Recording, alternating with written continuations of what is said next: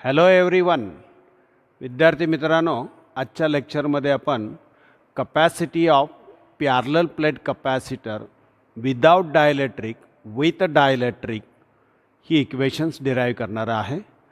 Displacement करंटबद्दलचं आपलं discussion असणार आहे आणि energy stored by the capacitor पहिल्या पार्टमध्ये आपण capacity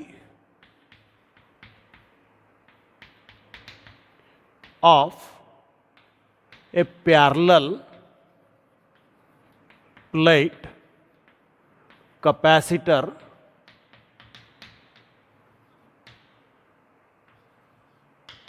without dielectric without dielectric आपल्याला डिस्कस करायचं आहे. एक पॅरल प्लेट कपॅसिटर आपण घेणार आहे.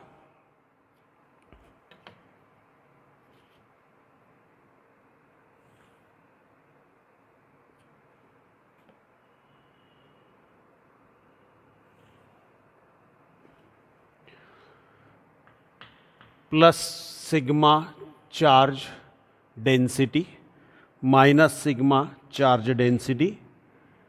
याच्यावरती चार्जेस असणार आहेत plus Q charge.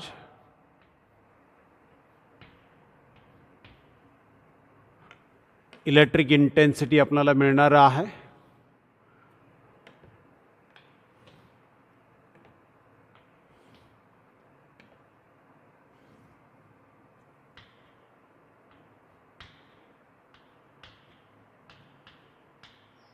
इथं मायनस क्यू चार्ज असणारा आहे बघा.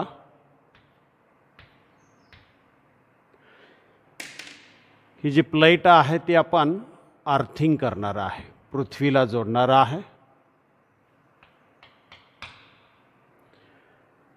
आतल्या बाजूला इलेक्ट्रिक इंटेन्सिटी असणार आहे. बाहेरच्या बाजूची electric intensity due to these plates ही ही झिरो असणार आहे. दोघांमधलं अंतर बघा. डी असं आहे.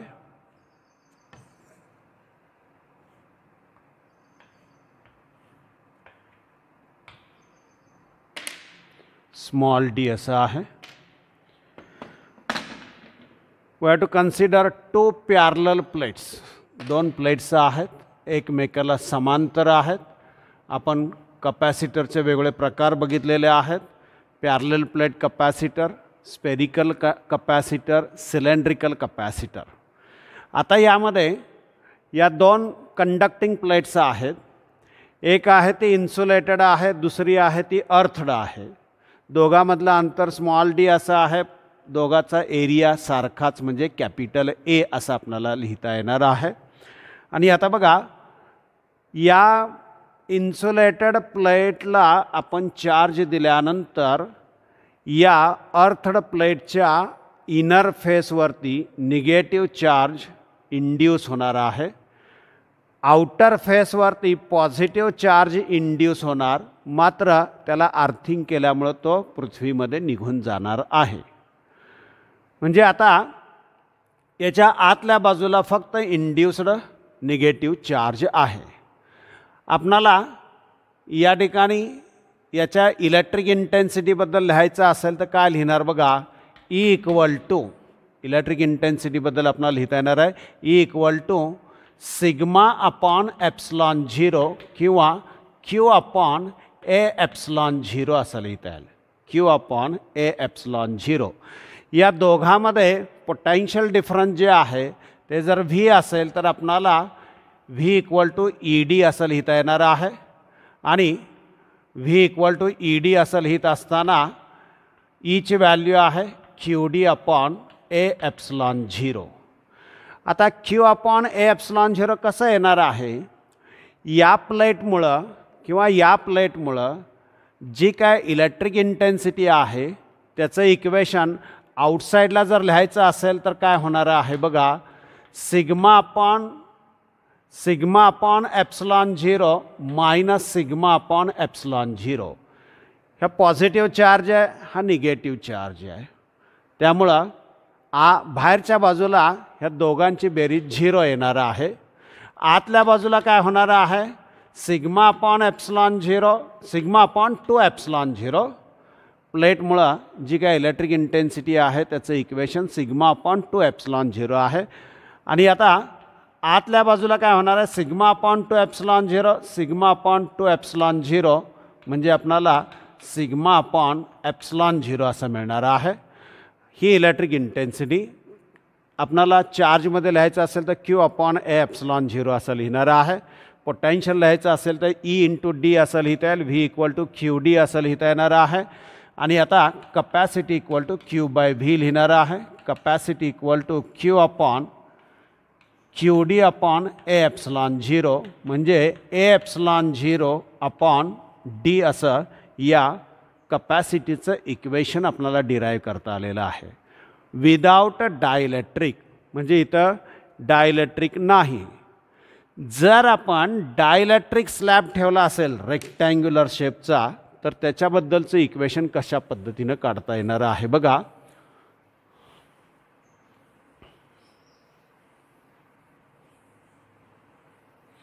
बाहेरच्या बाजूला इलेक्ट्रिक इंटेन्सिटी ही झिरोच असणार आहे.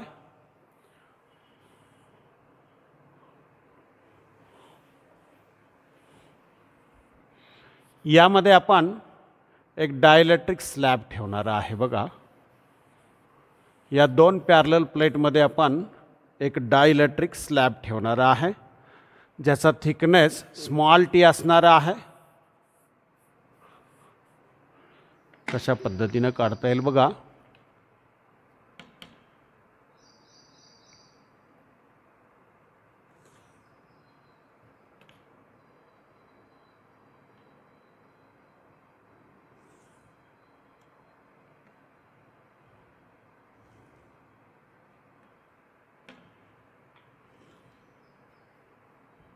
असा हा डायलेक्ट्रिक स्लॅब आपण या दोन पॅरल प्लेटमध्ये ठेवलेला आहे. याचा चार्ज आहे तो प्लस क्यू आहे याचा मायनस क्यू येणार आहे. याचा इफेक्ट जो आहे तो याच्यावरती निगेटिव्ह चार्ज इंड्यूस होणार आहे. तर याच्यावरती पॉझिटिव्ह चार्ज इंड्यूस होणार आहे. त्यामुळं या ठिकाणी बघा मायनस क्यू पी हा प्लस क्यू पी असणार आहे. दोन पॅरल प्लेट्स आहेत separated by distance D one plate is insulated while other plate is earthed when plus q charge is given to the insulated plate and a dielectric is introduced between the plates. When plus q charge is given to the insulated plate, then minus q charge is induced on the left side of the dielectric slab and plus q charge is induced on the right side of the dielectric slab त्यामुळे electric intensity असणार आहे ती या डायरेक्शनमध्ये बघा. आपणाला electric intensity मिळणार आहे ती या डायरेक्शनमध्ये ओरिजिनल इलेक्ट्रिक इंटेन्सिटी जी आहे ती या डायरेक्शनमध्ये असणार आहे. E zero bar positive to negative असणार आहे.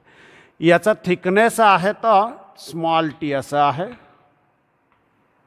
याचा थिकनेस आहे तो या ठिकाणी स्मॉल टी असा आहे. आणि आता याचं इक्वेशन आपणाला डिराईव्ह करायचं आहे. विदाऊट डायलेक्ट्रिक चं कपॅसिटीचं इक्वेशन आपण डिराईव्ह केलेलं आहे. काय आहे बघा without डायलॅट्रिकचं C zero equal to epsilon zero by D असं आहे. आता आपण डायलॅट्रिक इंट्रोड्यूस केल्यानंतर या ठिकाणी बघा पोलरायझेशन होणार आहे. त्याच्यामुळं इलेक्ट्रिक फील्ड डेव्हलप होणार आहे. जे आपण अप्लाय केलेलं फील्ड आहे त्याच्या विरुद्ध दिशेमध्ये असणार आहे. आपणाला या ठिकाणी ई झिरो इक्वल टू लिहिता येईल बघा. सिग्मा अपॉन एप्सलॉन झिरो किंवा Q upon A epsilon zero असं लिहिता येईल. आणि आता किंवा पोटॅन्शियल लिहायचं असेल तर ई झिरो डी असं लिहिणार आपण. पोटॅन्शियल लिहायचं असेल तर ई झिरो डी असं लिहिणार.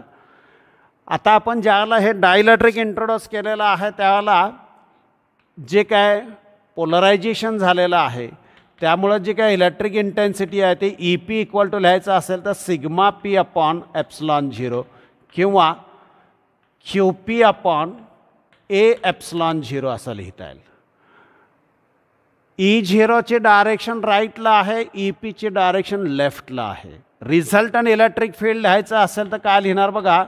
E zero minus E P असं लिहिणार आहे. म्हणजेच काय असणार आहे? ई झिरो बाय के एवढा असणार आहे. म्हणजेच किती असणार आहे? ई झिरो बाय के एवढा असणार आहे. यातला e ई झिरो आपण या ठिकाणी लिहिलेला आहे.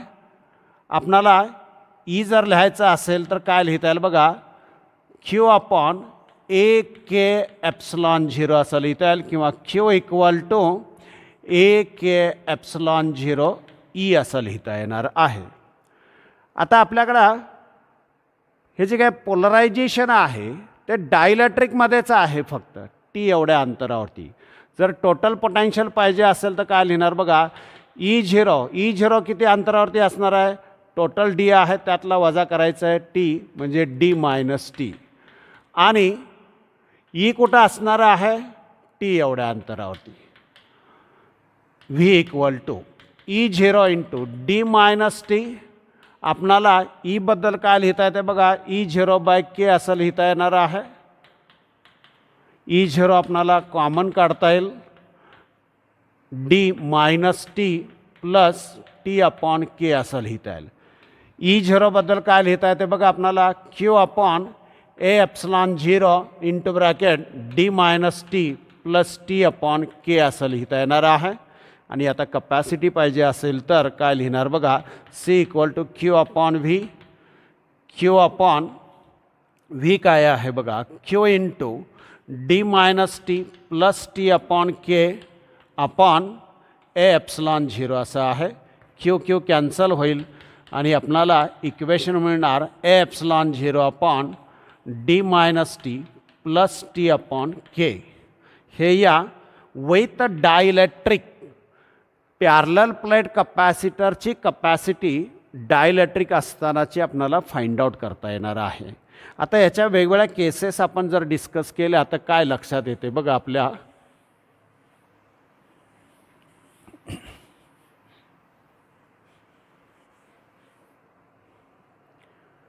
पहिली कपॅसिटी विदाउट डायलेक्ट्रिकला सी झिरो अशी आहे. कशी एक्सप्रेस करता येते बघा. समजा पहिल्या केसमध्ये या ठिकाणी पहिल्या पार्टमध्ये हा डायलॅट्रिक जो आहे तो पूर्ण त्याचा थिकनेस म्हणजे डी एवढा असेल. डायलॅट्रिकचा थिकनेस डी एवढा असेल तर काय होईल बघा. डी मायनस टी म्हणजे झिरो होणार. या टीबद्दल डी लिहिणार आपण म्हणजे C equal to A epsilon zero upon D by K असं येणार. डी बाय के म्हणजे A K epsilon zero upon K D असं लिहिता येणार. त्यातला के सोडला तर A epsilon zero upon D म्हणजे मूळची कपॅसिटी आहे. विदाऊट डायलेक्ट्रिकची कपॅसिटी जी आहे ती सी झिरो म्हणजे A epsilon zero upon D आहे. म्हणजे डायलेक्ट्रिक इंट्रोड्यूस केल्यानंतर त्याची कपॅसिटी जी आहे ती के टाईम्स इन्क्रीज होणार आहे असं आपल्याला सांगता येईल. बघा दुसऱ्या पार्टमध्ये समजा आपण या ठिकाणी जर वेगवेगळे स्लॅब्स इंट्रोड्यूस केले असतील वेगवेगळे स्लॅब आपण जर इंट्रोड्यूस केले असतील प्रत्येकाचे थिकनेस वेगळं आहे डायलेक्ट्रिक कॉन्स्टंट वेगळं आहे म्हणजे ते काय येणार आहेत? सेरीजमध्ये येणार आहे म्हणजे काय येणार आहेत ते? सेरीजमध्ये येणार आहेत. म्हणजे बघा यामध्ये असा हा thickness T one K one दुसरा thickness T two K two T three K three येणार आहे टी फोर के फोर येणार आहे टी फाय के फाय येणार आहे. असे नंबर ऑफ स्लॅब्स असतील आणि असे जर आपण याच्यामध्ये इंट्रोड्यूस केले असतील वेगळ्या थिकनेसचे आणि वेगळ्या डायलेट्रिक कॉन्स्टंटचे तर ते सेरीजमध्ये येणार आहेत. त्याला त्याच्या कपॅसिटीबद्दल काय लिहिता येईल बघा. ए एप्सलॉन झिरो अपॉन काय लिहिता येईल बघा. T one by K one plus T two by K two plus जे काय असतील ते आपल्याकडं T N by K N असं लिहिता येणार आहे. T N by K N असं लिहिता येणार आहे आपणाला. समजा तिसऱ्या पार्टमध्ये बघा. समजा याच्यामध्ये हे जे काय डिस्टन्स डी आहे ते कॉन्स्टंट असेल आणि वेगवेगळ्या एरिया ऑफ क्रॉस सेक्शनचे आणि वेगवेगळ्या डायलेट्रिक कॉन्स्टंटचे स्लॅब जर आपण इंट्रोड्यूस केले असतील तर ते एकमेकाला प्यारल येणार आहेत. म्हणजे कसे? की या पद्धतीनं असे स्लॅब आहेत. A one K one A two K two A three K three A four K four असे जर असतील तर आपणाला काय कसं लिहिता येणार आहे बघा? एप्सलॉन झिरो डी काय बदलणार नाही? काय येणार बघा? A one K one plus A two K two plus and so on A N K N असं लिहिता येणार आहे. आणि आता समजा ते ॲडेंटिकल असतील. A one equal to A two equal to A N equal to काय येणार आहे? ए बाय यन असं येणार आहे. इथं जर सबस्ट्यूट केलं तर काय लिहिता येईल? बघा आपणाला A epsilon zero upon A epsilon zero upon या ठिकाणी डी यन असं लिहिता येणार आहे. आणि ब्रॅकेटमध्ये K one plus K two plus up to काय येणार आहे? के यन असं आपणाला मिळणार आहे. आणखीन एक आहे बघा समजा या ठिकाणी कंडक्टिंग स्लॅब असेल.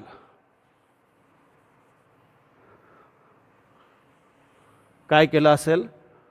हा जो काय स्लॅब आहे डायलेक्ट्रिकच्या ऐवजी कंडक्टिंग असेल तर त्याचं व्हॅल्यू जे आहे ती काय येणार आहे? के इक्वल टू इन्फिनिटी कंडक्टिंगसाठी के इक्वल टू इन्फिनिटी असणार आहे. सी इक्वल टू काय लिहिता येईल बघा? A epsilon zero upon D minus T असं लिहिता येणार आहे. आणि ए एप्सलॉन झिरो अपॉन कसं लिहिता येईल बघा. त्या केची व्हॅल्यू जी आहे ती इन्फायनाईट येणार आहे.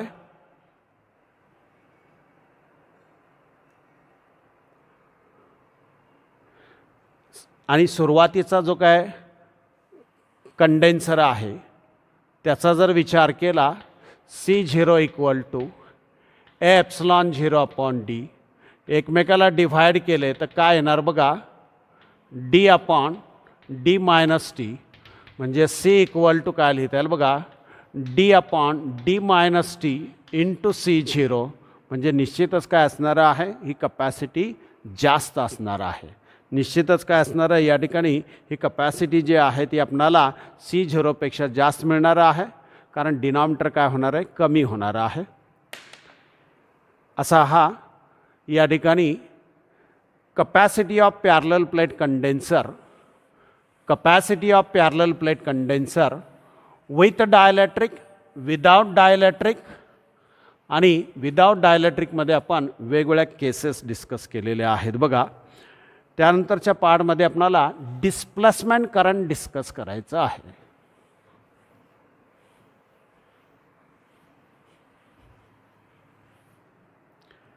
डिस्प्लेसमेंट करंट कंडक्शन करंट आपणाला माहिती आहे. इलेक्ट्रॉन फ्लो झाल्यामुळं चार्ज फ्लो झाल्यामुळं जो काय करंट फ्लो होणार आहे त्याला आपण कंडक्शन करंट असं म्हणणार आहे. समजा हा कपॅसिटर आहे. त्याच्यामध्ये हा डायलेक्ट्रिक आपण ठेवलेला आहे.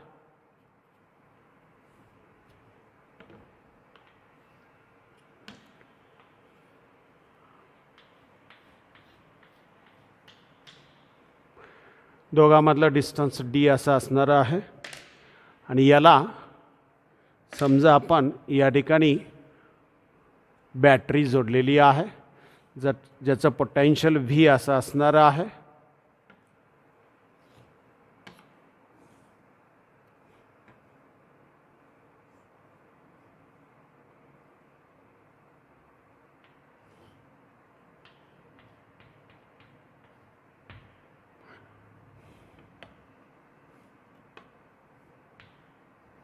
इथं टॅप की जोडलेली आहे. या ठिकाणी ही टॅप की आपण जोडलेली आहे.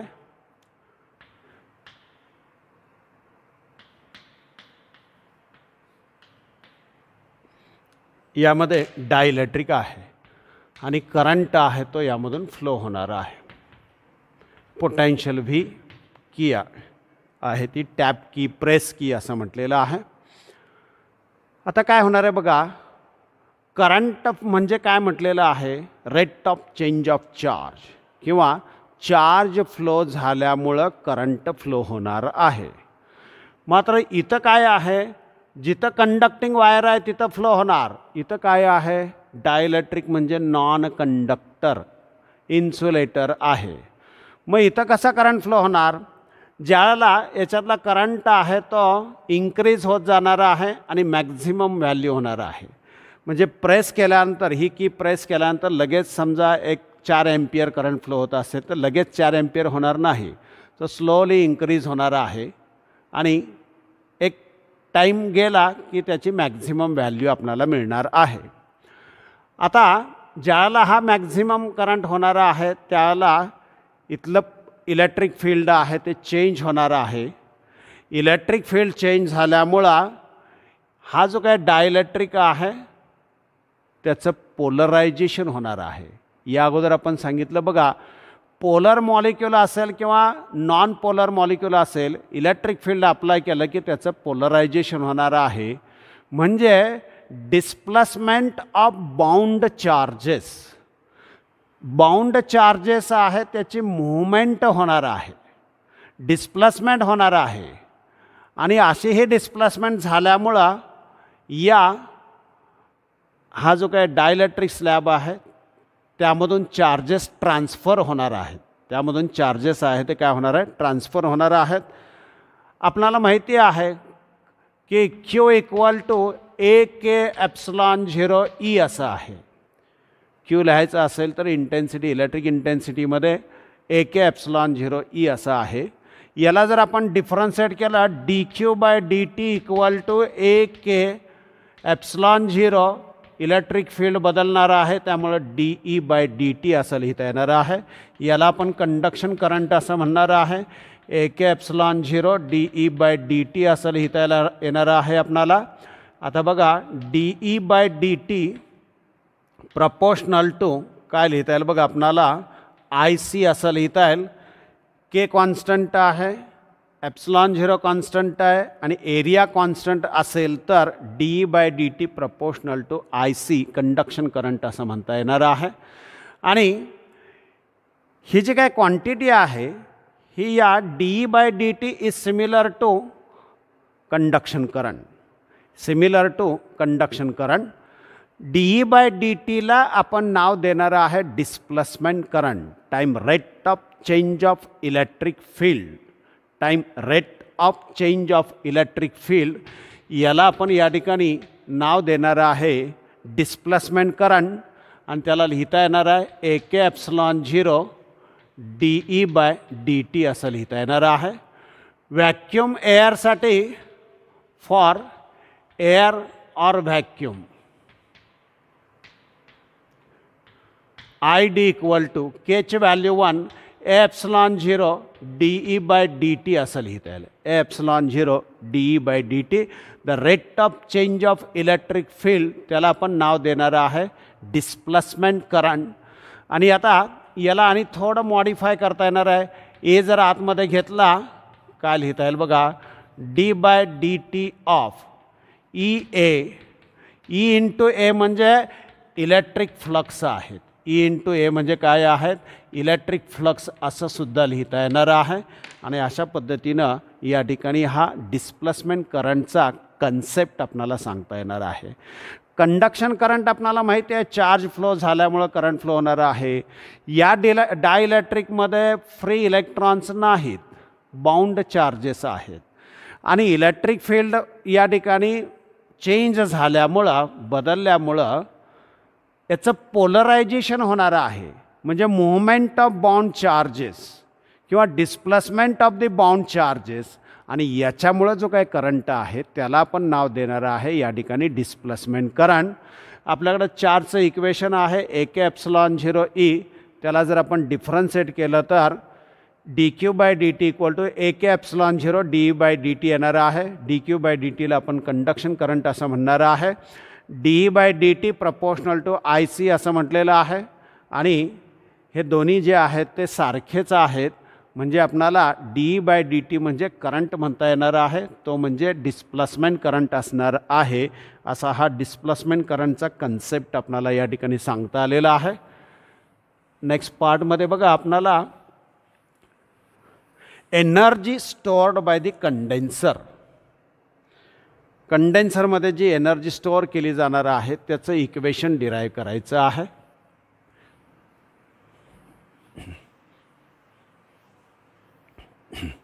कशा पद्धतीनं करता येईल बघा.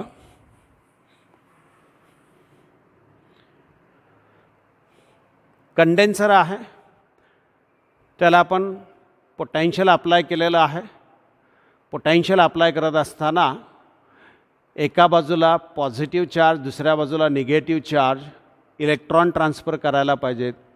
म्हणजे या पॉझिटिव्ह प्लेटमधले इलेक्ट्रॉन जे आहेत ते ट्रान्सफर करत असताना पॉझिटिव्ह प्लेट इलेक्ट्रॉनचा चार्ज निगेटिव्ह म्हणजे तो ॲट्रॅक्टिव्ह फोर्स आहे त्याच्या अगेन्स्ट कार्य करायला पाहिजे.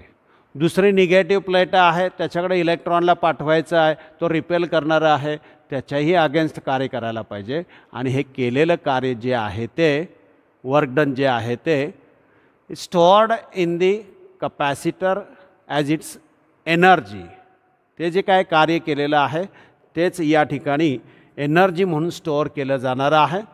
समजा कंडेन्सर आपण क्यू एवढा चार्ज देणारा आहे. त्याला त्याचं पोटेन्शियल असणारं आहे ते व्ही आणि कपॅसिटी असणारं आहे ती सी एकदम काय आपणाला क्यू एवढा चार्ज देता येणार नाही. मधल्या एका स्टेजचा विचार केला चार्ज स्मॉल क्यू आहे. चार्ज कमी असेल तर पोटेन्शियल कमी असणारं आहे. कपॅसिटी काय बदलणार नाही. फॉर एक्झाम्पल समजा एक लिटर पाण्याचा ग्लास आहे. मी त्याच्यामध्ये पाणी ओतत चालल्यानंतर तो भरत जाणार आहे. मी निम्म पाणी ओतलं असेल तर त्याची कपॅसिटी किती असणार आहे? एक लिटरच. किती कपॅसिटी असणार आहे? एक लिटरच. तुम्ही निम्म भरलेला आहे आणि जादा ओतलं पाणी आपण तर भरत जाणार आहे आणि मी समजा भरल्यानंतर आणि ओतायला लागलो तर किती बसणार आहे त्याच्यामध्ये पाणी? एक लिटरच. आपण जे जादा टाकलेलं तर काय होणार? बाहेर पडणार आहे. म्हणजे तुम्ही कमी टाकलं तरी त्याची कपॅसिटी एक लिटरच जादा टाकलं तरी कपॅसिटी एक लिटरच असणार आहे. म्हणजे कपॅसिटी काय बदलणार नाही. मधल्या स्टेजमध्ये चार्ज स्मॉल क्यू असेल पोटॅन्शियल व्ही असेल तर व्ही इक्वल टू आपणाला क्यूब बाय सी असेल इथं येणार आहे. आणि आता आपण कमी चार्ज देणार आहे. त्याच्यासाठीचं वर्कडन कमी असणार आहे. घ्यायचे आहे. म्हणजे potential into D Q work done equal to potential into charge असं लिहिता येणार आहे. D W equal to Q by C D Q असं लिहिता येणार आहे. आपणाला सुरुवात करताना चार्ज झिरो असणार आहे. जास्तीत जास्त क्यू एवढा द्यायचा आहे. मग आपण काय करणार? बघा हे जे काय वर्कडन आहे अशा सगळ्या वर्कडनची बेरीज करणार. टोटल वर्कडन म्हणजे आपणाला अशा वर्कडनची बेरीज करायला पाहिजे. म्हणजे हायर मॅथमॅटिक्समध्ये इंटिग्रेशन असं म्हणणारं आहे. काय लिहिता येईल बघा आपणाला? Zero to Q Q upon C D Q असं लिहिता येईल. सी ही कपॅसिटी आहे त्यामध्ये काय बदल होणार नाही. Zero to Q Q D Q असं लिहिता येईल. आणि याचा इंटिग्रेशन पॉवरच्या नियमाप्रमाणे काय येणार बघा? Q square by two zero to Q असं लिहिता येईल वर्क डन इक्वल टू काय लिहिता येईल बघा आपणाला? अप्पर लिमिट पहिल्यांदा मायनसमध्ये लोअर लिमिट मायनस केलं तर झिरो होणार आहे. वन अपॉन टू सी काय येणार बघा? Q square minus zero. Work done equal to Q square upon two C असं लिहिता येणार आहे. This is the work done this work is stored as energy त्यामुळे एनर्जीचं equation Q square by two C असं लिहिता येणार आहे. आपणाला माहिती आहे Q equal to C V असं आहे सबस्ट्यूट करणार आपण यू इक्वल टू काय येणार बघा C square V square upon two C C cancel करता येईल मिळेल आपणाला हाफ सी व्ही स्क्वेअर असं मिळणार आहे.